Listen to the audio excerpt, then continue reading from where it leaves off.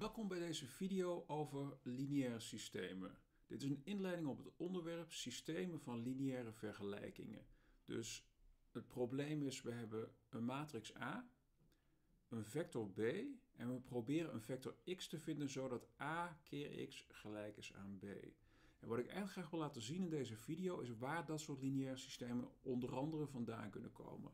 Er zijn heel veel problemen in de wiskunde die leiden uiteindelijk tot systemen van lineaire vergelijkingen. En in mijn vakgebied zal het heel vaak zijn dat je een differentiaalvergelijking hebt, een gewone differentiaalvergelijking of een partiële differentiaalvergelijking of misschien wel een stelsel daarvan, die je discretiseert. Dus je kiest een rooster en je gaat een benadering zoeken van de oplossing van zo'n stelsel differentiaalvergelijkingen. Dus even een korte, kort overzicht van waar ik het over wil hebben in deze video. Een voorbeeld op het gebied van verbranding, numerieke verbranding, dus het doen van simulaties aan verbrandingsproblemen. Iets over randwaardeproblemen. Hoe je randwaardeproblemen kunt discretiseren en de eindige differentiemethode, finite difference method, is een voorbeeld daarvan. En een kort overzicht van wat we gezien hebben. Allereerst in de slides zal ik proberen om de notatie heel duidelijk te maken in de zin dat je kunt zien aan een letter wat voor wiskundig object het is. Dus we maken onderscheid tussen matrices, en dat zijn vette hoofdletters, vectoren, dat zijn vette kleine letters, en gewone getallen, dat zijn uh, kleine letters in italics en schuinschrift of Griekse letters. En als we het hebben over lineaire algebra, dan zijn een paar begrippen belangrijk. Dus even notatie. De hoofdletter T, dat is de transpose, getransponeerde. Dus als je een matrix hebt, AIJ, dan is de getransponeerde AJI. En dat betekent dat je in feite spiegelt in de hoofddiagonaal van de matrix. En vectoren zullen in het algemeen kolomvectoren zijn. En als je er dan een getransponeerd bij schrijft, dan krijg je een rijvector. Voor veel toepassingen kan het handig zijn om een matrix te schrijven in termen van zijn kolommen. Dus als ik het zo opschrijf, dan is A1 de eerste kolom, A2 de tweede kolom en AN de laatste kolom van de matrix. En als ik schrijf diag met een getal erachter, dan bedoel ik daarmee een diagonaalmatrix met die getallen op de hoofddiagonaal. Dus dat zie je hier. Voor de rest nullen en de getallen staan op de hoofddiagonaal. Nog een paar vaak voorkomende matrices. Hoofdletter O, dat is de grote nulmatrix, dus elk getalletje in de matrix is 0. Hoofdletter I is de eenheidsmatrix, de identity matrix. En die heeft 1 op de hoofddiagonaal, nullen op alle andere plekken. En we zullen zien dat voor het oplossen van stelsels onder driehoeksmatrices en boven driehoeksmatrices handig zijn. Dus L staat voor Lower Triangular Matrix, een onderdriehoeksmatrix. Alles boven de hoofddiagonaal is 0. Hoofdletter U is een, under, sorry, een Upper Triangular Matrix, dus alles onder de diagonaal is 0 en de niet-nul elementen zijn allemaal op de hoofddiagonaal of daarboven. En soms dan wordt Lower Triangular ook wel Left Triangular genoemd en Upper Triangular ook Right Triangular. En je ziet hier waarom dit linksdiagonaal en dit dan rechtsdiagonaal genoemd wordt. En dat kan van belang zijn in MATLAB is bijvoorbeeld een, een boven een driehoeksmatrix wordt standaard met hoofdletter R aangegeven. Dat komt dus daar vandaan van right triangular, boven driehoeks. Een voorbeeld. Um, je ziet hier een brander. En branders die hebben de meeste mensen in hun huizen voor de verwarming. Dus je cv-ketel in huis, dat is een kleine brander die aardgas verbrandt en water opwarmt. En als je gaat kijken naar bijvoorbeeld cv-ketels, dan wil je die zo efficiënt mogelijk hebben. Je wilt dat al het gas dat je erin stopt, het liefst alles in warmte wordt omgezet en dat er geen verlies is. Wat je ook wil is dat er geen uh, koolmonoxide bijvoorbeeld of stikstofoxides gevormd worden. Dus je wilt dat uh, uitlaatgassen dat die niet schadelijk zijn. En hier staat ook nog stable flames. Wat dat betekent is dat je wilt dat zo'n vlam in een ketel niet staat te flakkeren. Want als die gaat flakkeren, dan gaat je ketel geluid maken. En omdat die ketels in huis staan, bij mij staat hij in de slaapkamer, dan wil je dat ze zo stil mogelijk zijn. Nou, je kunt een ontwerp maken voor zo'n cv-ketel of algemeen een brander.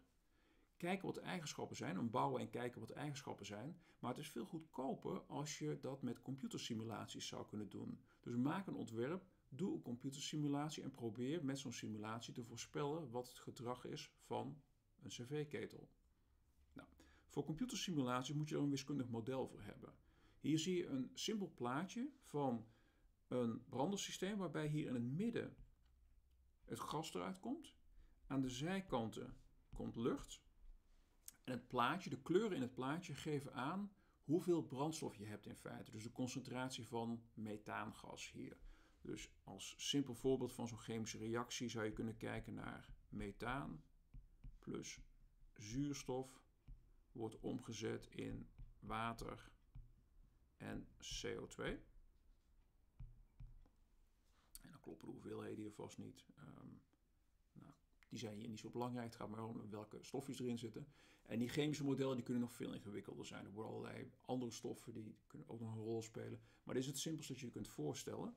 En hier is methaan is de brandstof. En dat rode kleurtje hier betekent dat we veel methaan hebben.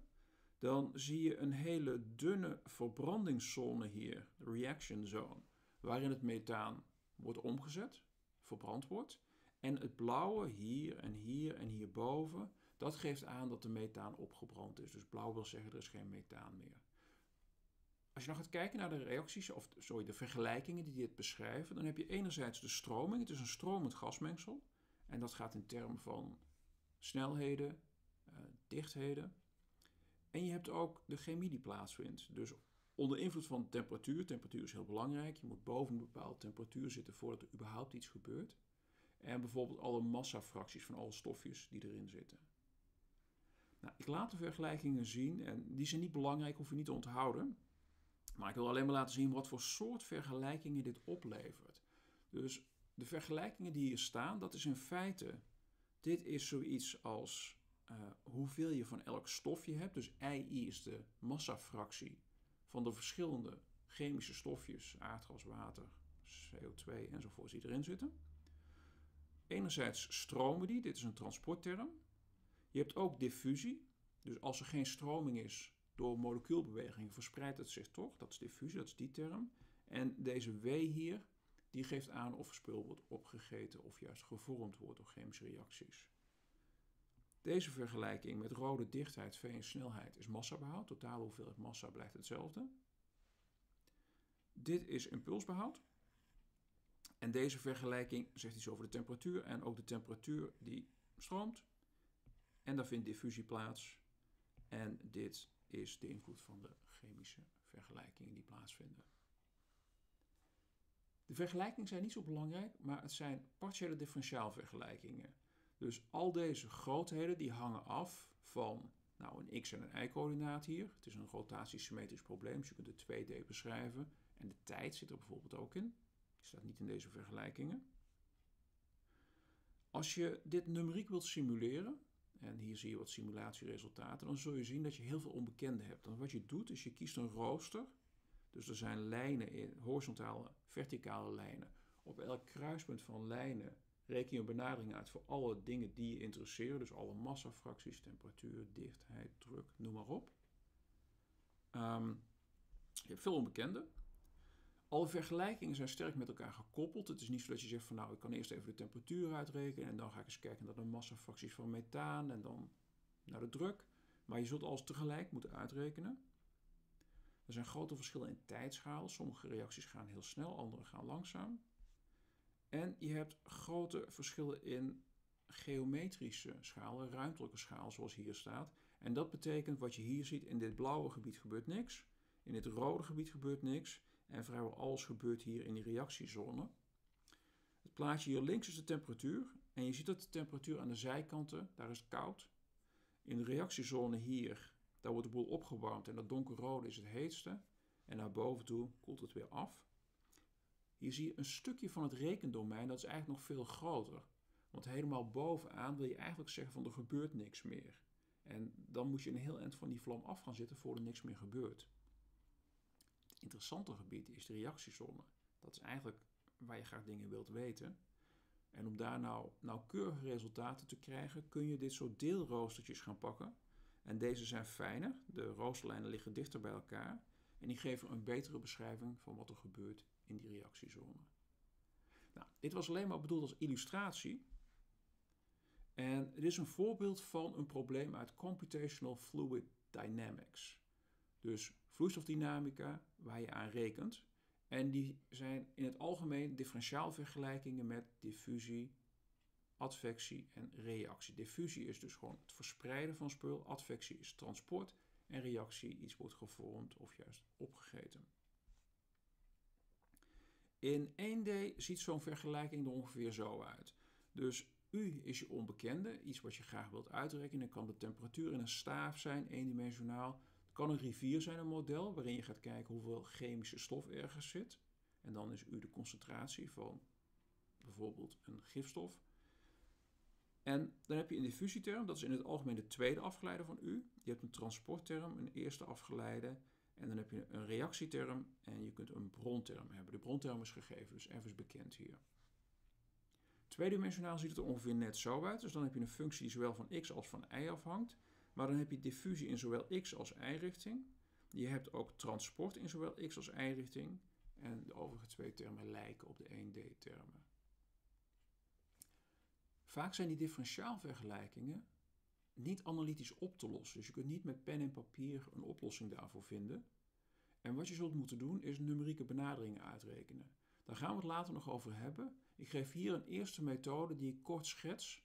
Niet het onderwerp van deze video, maar ik wil graag laten zien hoe je van een differentiaalvergelijking kunt uitkomen op een lineair systeem. En dat is waar we het nu over hebben. Dus ik ga kijken naar een klein voorbeeldprobleempje. Ik kijk naar, de tweede afgeleide, min u dubbel is f. f is gegeven, dus f ken ik.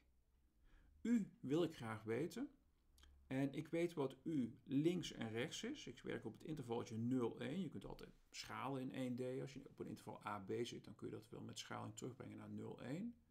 Mijn u is 0 aan beide uiteinden. En ik heb deze differentiaalvergelijking gegeven. Nou, als f een makkelijke functie is, dan kun je dit nog wel met integreren oplossen. En dan kun je u nog wel uitrekenen. Maar als f ingewikkeld is, dan zal dat meestal niet lukken. En wat je zou kunnen doen, is je zegt van nou, weet je wat ik doe? Ik discretiseer. Wat betekent dat? Ik kies een rekenrooster. Dus in mijn interval van 0 tot 1 kies ik roosterpunten. Die noem ik x0, x1, x2 tot aan xn plus 1. En in elk roosterpunt reken ik een benadering van u uit. En als ik dan U ken in al die roosterpunten, dan zou je er bijvoorbeeld rechte lijnstukjes tussen kunnen trekken. En dan heb je wel een benadering van je functie U. Als je veel roosterpunten pakt, heb je een goede benadering. Als je maar een paar roosterpunten pakt, niet zo'n hele goede benadering. Die roosterpunten liggen allemaal op gelijke afstand van elkaar. Die noem ik kleine h. Dus de roosterpunten zelf zijn x, i is i keer h met i loopt van 0. Dan zitten we helemaal links tot aan n plus 1. En bij n plus 1 zitten we helemaal rechts. Nou, door de randvoorwaarden deze, weet ik wat u helemaal links en wat u helemaal rechts is. En ik wil dus graag een methode vinden om u op al die inwendige roosterpunten uit te kunnen rekenen. Wat je daar kunt doen, is een benadering vinden voor die tweede afgeleide. Dus dat is het volgende onderwerp. En dat doe ik heel snel, omdat dat niet het hoofdonderwerp hier is. Maar ik zeg van nou, als ik u x plus h heb, en h is klein, dan zou ik een Taylor-reeks kunnen gebruiken. Nou, een Taylor-reeks ziet er zo uit. Ik kan ook kijken naar ux min h. En als je even nadenkt, als ik ergens in een rooster of in een punt x zit, dan is x plus h zijn rechterbuurman, x min h zijn linkerbuurman. Uh, dit zijn Taylor-reeksen. Die tel ik bij elkaar op. En als je ze bij elkaar optelt, dan zie je dat al die oneven afgeleiders, de eerste, de derde afgeleide, maar ook de vijfde, de zevende enzovoort, die vallen allemaal uit. En ik hou iets over met 2ux en iets met de tweede afgeleide en nog iets, ja, dat is zoiets als een fout. Iets wat er ongeveer uitziet als een constante keer h tot de vierde. h is hopelijk klein, dat is de afstand tussen die roosterpunten. Dus ik verwacht dat ik dit wel kan verwaarlozen. En als ik dan de tweede afgeleide hieruit oplos, dus ik breng deze, die breng ik naar de linkerkant en ik deel hier door die h-kwadraat, dan zie je dat de tweede afgeleide die is zoiets als wat hier staat. Dit zou ik als benadering kunnen pakken. En dat heet een centrale differentiebenadering. En dan is dit de fout die ik daarin maak. Oké. Dus, wat ga ik doen? Ik heb mijn randwaardeprobleem, dat had ik al. Ik vervang de tweede afgeleide door die centrale differentiebenadering die ik op de vorige slide heb gevonden. Ik schrijf even UI voor de benadering die ik ga uitrekenen van UXI. En ik schrijf FI voor FXI. F is gegeven, dus die ken ik, maar dat is alleen op het korte.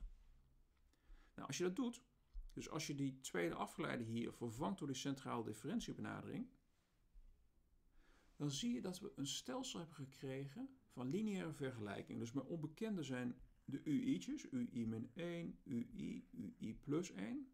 Die wil ik graag uitrekenen. Ik heb n van deze vergelijkingen. Voor elk inwendig roosterpunt heb ik er eentje. En de twee randpunten, daar ken ik mijn oplossing. Dus in principe, ik heb n vergelijkingen en onbekende. Dat zou ik moeten kunnen oplossen. En ik kan dit ook schrijven als een matrix-vectorsysteem. Dus ik voer een matrix A in.